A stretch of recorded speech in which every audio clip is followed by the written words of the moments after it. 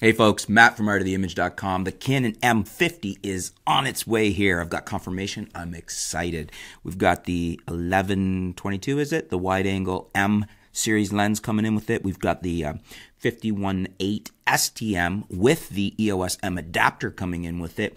And I've got the M50 coming in a kit arrangement with the two lenses. So that's the uh, 15 to 45, I think it is, and the 55 to 200. So that should be a great setup of lenses. Um, actually, really interested uh, I mean, I'm, I'm, excited to play with the M50 period, but interested to try the EOS M adapter and see how a, uh, a non M series lens works with the adapter, which is why I ordered the Nifty 50, one of my favorite lenses and one of the lenses I always recommend to you guys if you're expanding above and beyond your kit lenses. The 50 f1.8 is the way to go on uh, whether you're Canon, Nikon, whatever you're shooting. Uh, so, anyways, it's coming in. The 50 is coming in, the M50. Uh, and begs the question I've been getting some questions about the 90D. Uh, when is the 90D coming? Should I wait for the 90D? Should I buy an M50? And uh, it got me thinking that I think what we're seeing with the M50 is a lot of the tech that we're going to see in the 90D. I've been asking, basically, I, have said before that a 90D that's basically a refined 80D with 4K with a few other little improvements, would be a great 90D because the 80D is a very mature, very good camera in and of itself.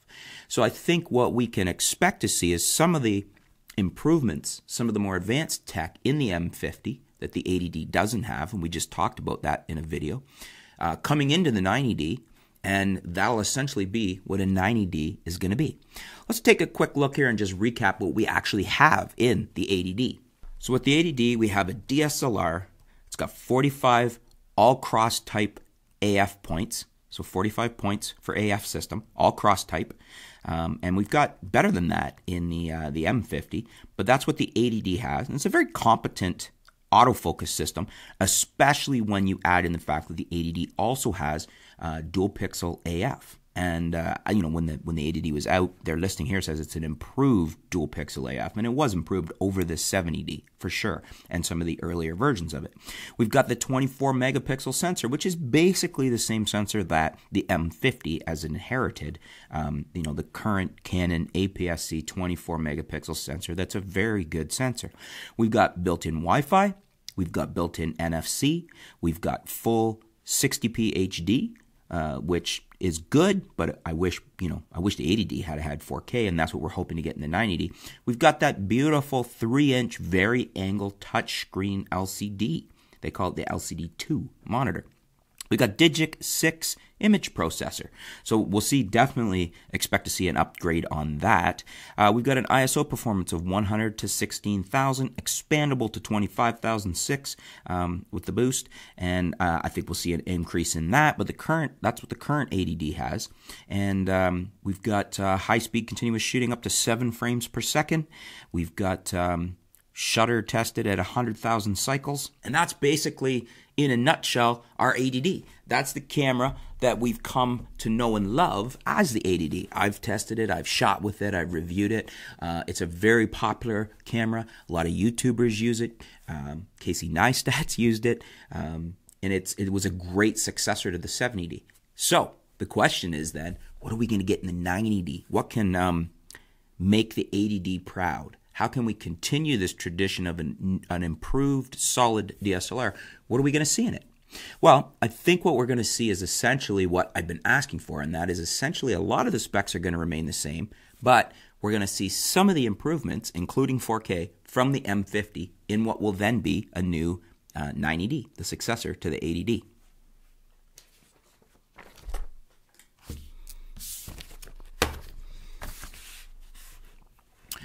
I've gone through and basically collated all of the specs that we can accept to, expect to see coming from the 50D that will show up in the 90D. In other words, stuff we're going to get in the 90D that is came out or is currently in the M50. So uh, first and foremost, we're uh, focus peaking. Probably not going to get it. It's not impossible to put in a DSLR, but we probably won't so as I mentioned, first and foremost, it's probably going to have, it will have 4K. We're going to see 4K and it's either going to be the same style of 4K, you know, with that 2.5, 2.56 times crop that the M50 has uh, and its limitations, um, or perhaps because the 90D is a higher level body, it's probably going to be priced higher than the M50 at its 899 kit price. The 90D is likely to come back to what the 80D was at, which is I think it might have even it was at least 1199. It might have been closer to 1400 on release with a kit lens. Um, but we may get a better 4K than the M50. We'll get at least the uh, Canon M50's 4K, but perhaps a better one. Maybe a little less crop. Um, and maybe the ability to use dual pixel AF. That is something that Canon has kind of signaled that it's not that they can't do it why we don't have it on the M50. They just weren't going to give away the farm at a lower price point. So they were stripping features on the M50 but offering it at a lower price. Perhaps with the 90D being anticipated at a higher price level, maybe that'll be our first APS-C 4K camera from Canon that also has dual pixel AF, which would be fantastic and a huge benefit over the M50. So that might draw people to the 90D at the higher price point.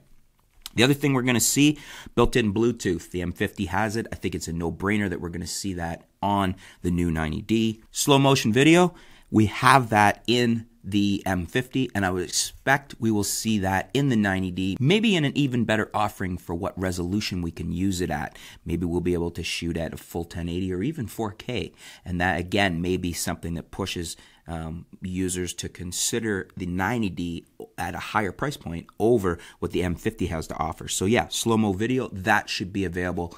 I, I would expect to see that in the 90D. Higher extended ISO, I think that's a no brainer. I think the M50 is just a more developed, more mature sensor of that really nice Canon 24 megapixel APS-C sensor, and so they've been able to, with tech moving forward and a higher, higher digic processor, we're going to see that higher digic processor, which is another point, in the 90D, and we are going to, in turn, because of that better processor, that more more computer power, we're going to get uh, that same extended ISO range that is in the M50 in the new 90D. And then the last point, as I just touched on, is the processor.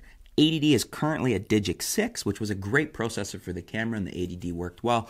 Moving into 4K, which is what I expect, and I think we were pretty much guaranteed to see in the 90D, this at least the same level of 4K that's in the M50. We're also going to have the same processor, Digic 8. Maybe even a more powerful version of it. Maybe we'll see like a Digic 8 version 2 or something.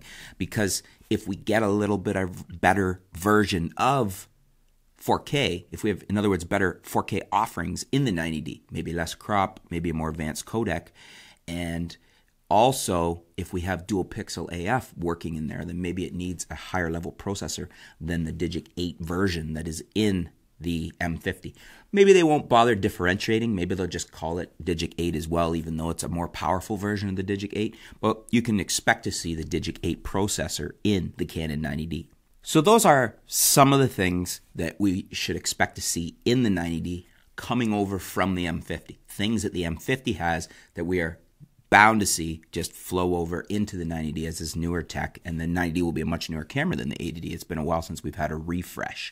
So is that enough to make you consider the 90D at what will almost surely be the standard 90D price point in the sense that, you know, the 80D, the 70D, whatnot, it's always committed a certain price point? As a matter of fact, that has me curious to remember exactly what the price point was. And when I look, the price point was $11.99 body only, $17.99 with the 18 to 135 lens. So obviously it's dropped in what it costs now, but I mean $11.99 body only uh, is a big difference from the $8.99 M50 with kit lens. Now that was announced, and those were the prices when it was announced, February 18th, 2016.